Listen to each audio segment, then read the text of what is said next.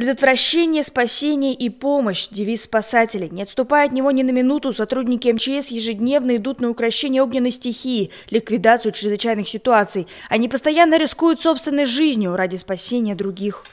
27 декабря поздравления со своим профессиональным праздником принимают все спасатели России, в том числе и Щелковского района. Это сотрудники пожарной охраны, нештатные общественные спасательные организации, МЧС. Поздравить их в Щелковский районный культурный комплекс приехали районные власти.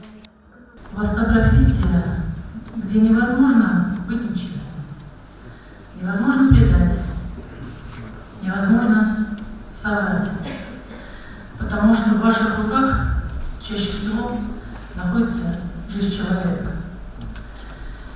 И или это трагическая случайность, или это халатность, но вы всегда рядом. Вы, жертвуя собой, делаете невозможное. Вы даете людям право на дальнейшую жизнь, когда они уже потеряли веру в это. Сегодня отмечают свой профессиональный праздник представители одной из самых мужественных профессий – сотрудники МЧС. В этот день они могут почувствовать себя настоящими героями. Их награждают орденами, грамотами и ценными подарками. Минуты молчания почтили память сотрудников, погибших при выполнении служебных обязанностей. Только в июне этого года пожар на Фрязинском мебельном предприятии унес жизни двух спасателей. Трое погибли под Иркутском при крушении тяжелого транспортного самолета Ил-76 МЧС Российской Федерации. Работа действительно, она очень сложная, очень э, опасная, так как э, ребята, которые заступают на дежурные сутки, они постоянно находятся в боевой готовности. Приезжая на место той или иной чрезвычайной ситуации, они знают, э, с чем они могут столкнуться в следующую секунду. Поэтому наши ребята, у них действительно у всех открытое сердце, у них э, широкая душа, и они первыми приходят на помощь, спасают людей.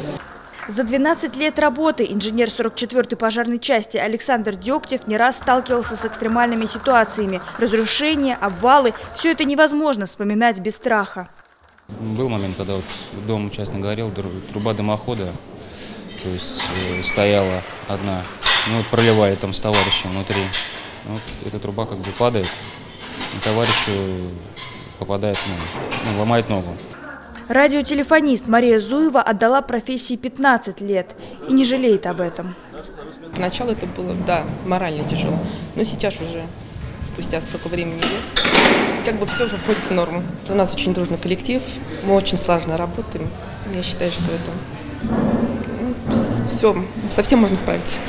На счету спасателей огромное количество случаев оказания помощи пострадавшим. Только в этом году проведено более 400 таких работ. Спасено более полутора тысяч жизней. И спасатели, как всегда, на боевом посту.